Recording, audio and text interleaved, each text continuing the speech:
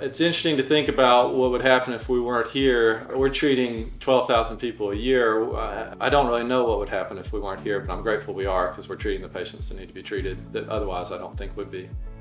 My name is Ben Kellum. Uh, I'm the program director here at Foundry Dental Center in Birmingham, Alabama. Uh, we are a one-year AGD residency that's also a Christian nonprofit. So we've been here for about 10 years now. Um, we serve about 12,000 patients a year um, and we're serving primarily drug recovery patients.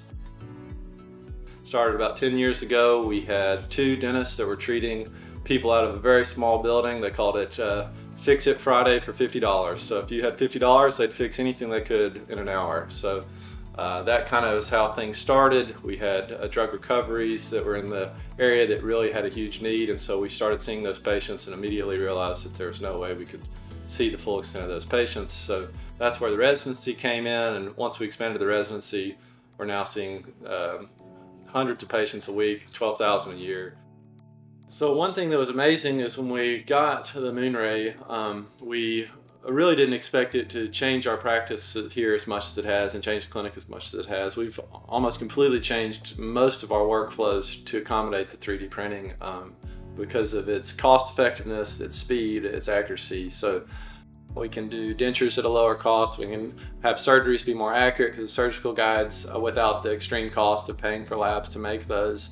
Um, we can do um, really a, a, wide range of things now and incorporate it into our workflow in a way that's uh, cost efficient, that's time efficient, and that also creates a great result for the patient. So really it's just opened up uh, doors of ways to do things that uh, really were limited to us before. So a patient that couldn't afford to get a full mouth wax up or couldn't afford to get a denture, an immediate denture can really now have the opportunity to get the quality um, situation for them that they couldn't before. It really did take about 20 or 30 minutes to learn the basics of printing. I was nervous at first about even letting the residents use the printer. I thought we were going to have to put it in a special place and hide it away and just have one person that would use it. And I, I very quickly realized that really uh, any of them can use it well and get great results with very little training. I've really been surprised. I expected to have a lot more difficulty of fine-tuning the printer to be able to get it to get results consistently. That was something I was really worried about because I, I, thought it would be a very finicky, fickle machine, and it really, right, right out the box, was giving me great prints. So that was a big surprise to me. So really it's just about incorporating into our workflow and seeing if we can uh, treat 12,000 patients worth of people with 3D printers.